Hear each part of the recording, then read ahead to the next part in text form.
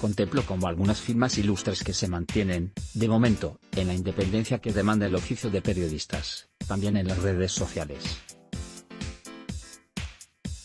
A gente que todavía conserva la capacidad para razonar los medios de comunicación, casi todos, han perdido toda su credibilidad se quejan sobre, el régimen comunista al que nos está llevando el actual gobierno social comunista. De la misma forma son muchos los ruidos del actual Venezuela y del régimen bolivariano, instaurado hoy viviendo en España, que afirman que el nuestro, cada vez se parece más al de su país de origen. La nueva ley de arrendamientos, propuesta por Podemos y a la que no le hace asco el presidente Sánchez, debe de la que ya existe en el país sudamericano, en un foro de liberales en la red, en el que participo de vez en cuando, contestaba yo, a una afirmación sobre el camino que lleva el actual gobierno en ese sentido.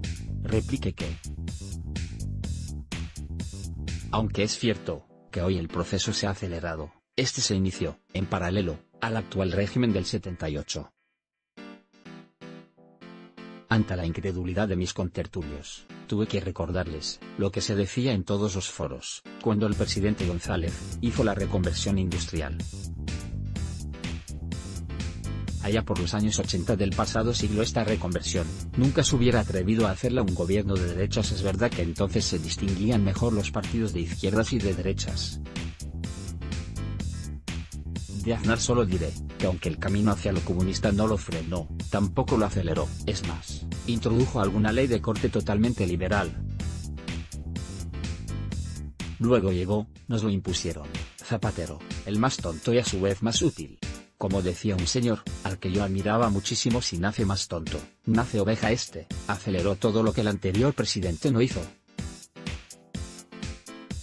Luego nos llegó Rajoy con la promesa de que iba a derogar todo lo legislado por Zapatero, promesa que el pueblo se tragó, de ahí que arrasa en las elecciones.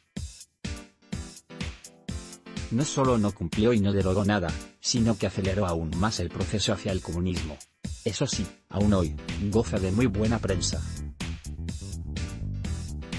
De todo esto, lo peor es que le damos a nuestros dirigentes una importancia que ya quisieran ellos, cuando son tristes lameculos de sus amos. Sí, esos poderes económicos que son realmente los que nos imponen sus caprichos, los de la globalización. Todos sabemos de las muchas veces que el señor Soros, ejerciendo de ariete, se ha reunido con nuestro presidente, de la misma manera, que en su totalidad, desconocemos los temas que tratan. De la misma manera, que también sabemos, que a los más aventajados en la oposición, son invitados a reuniones y en los mismos términos de la anteriormente mencionada. Todo esto, viene motivado y controlado por los señores aludidos, ante el fracaso absoluto que han tenido los regímenes comunistas impuestos en el mundo durante el pasado siglo. Ahora nos quieren imponer una nueva fórmula entre el viejo comunismo y el nuevo liberalismo, llamado neoliberalismo. Se acerca el momento de decidir, ovejas o lobos.